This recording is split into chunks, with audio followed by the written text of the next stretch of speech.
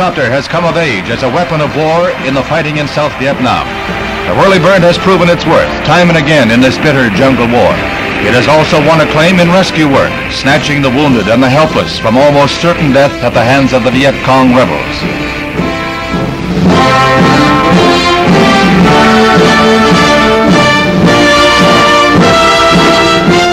War is a hit and run affair on both sides, and the copter is able to swoop in on isolated pockets of rebels, rake them with withering fire, then soar aloft and away.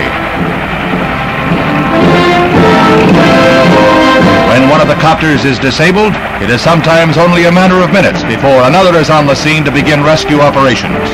If repairs can't be made on the spot, the downed craft can be picked up by another bird from the nest and carried back to safety.